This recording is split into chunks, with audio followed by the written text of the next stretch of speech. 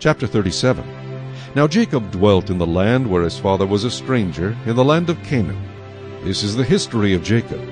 Joseph, being seventeen years old, was feeding the flock with his brothers. And the lad was with the sons of Bilhah and the sons of Zilpah, his father's wives. And Joseph brought a bad report of them to his father. Now Israel loved Joseph more than all his children, because he was the son of his old age. Also he made him a tunic of many colors.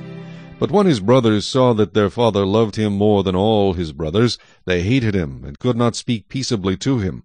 Now Joseph had a dream, and he told it to his brothers, and they hated him even more. So he said to them, Please hear this dream which I have dreamed. There we were, binding sheaves in the field. Then behold, my sheaf arose, and also stood upright. And indeed your sheaves stood all around, and bowed down to my sheaf. And his brothers said to him, Shall you indeed reign over us? Or shall you indeed have dominion over us? So they hated him even more for his dreams and for his words. Then he dreamed still another dream, and told it to his brothers, and said, Look, I have dreamed another dream. And this time the sun, the moon, and the eleven stars bowed down to me. So he told it to his father and his brothers. And his father rebuked him, and said to him, What is this dream that you have dreamed? Shall your mother and I and your brothers indeed come to bow down to the earth before you? And his brothers envied him, but his father kept the matter in mind. Then his brothers went to feed their father's flock in Shechem. And Israel said to Joseph, Are not your brothers feeding the flock in Shechem? Come, I will send you to them. So he said to him, Here I am.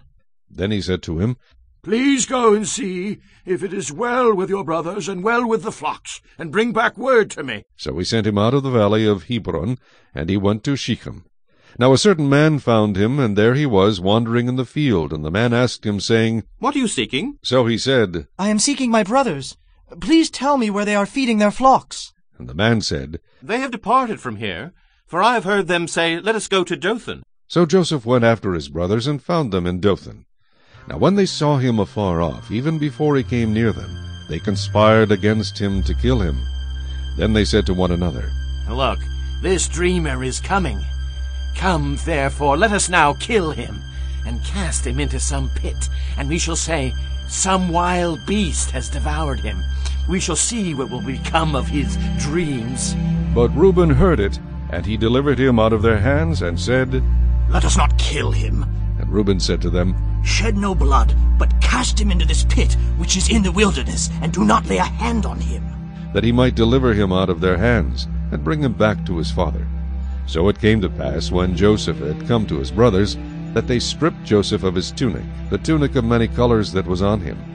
Then they took him and cast him into a pit, and the pit was empty, there was no water in it. And they sat down to eat a meal.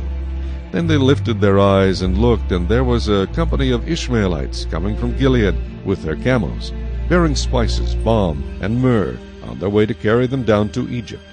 So Judah said to his brothers, What profit is there if we kill our brother and conceal his blood? Come, and let us sell him to the Ishmaelites, and let not our hand be upon him, for he is our brother and our flesh. And his brothers listened. Then Midianite traders passed by. So the brothers pulled Joseph up and lifted him out of the pit, and sold him to the Ishmaelites for twenty shekels of silver. And they took Joseph to Egypt. Then Reuben returned to the pit, and indeed Joseph was not in the pit, and he tore his clothes. And he returned to his brothers and said, The lad is no more, and I, where shall I go? So they took Joseph's tunic, killed a kid of the goats, and dipped the tunic in the blood. Then they sent the tunic of many colors, and they brought it to their father, and said, We have found this. Do you know whether it is your son's tunic or not? And he recognized it, and said, It is my son's tunic. A wild beast has devoured him. Without doubt, Joseph is torn to pieces. Then Jacob tore his clothes, put sackcloth on his waist, and mourned for his son many days. And all his sons and all his daughters arose to comfort him, but he refused to be comforted. And he said, For I shall go down into the grave to my son in mourning. Thus his father wept for him.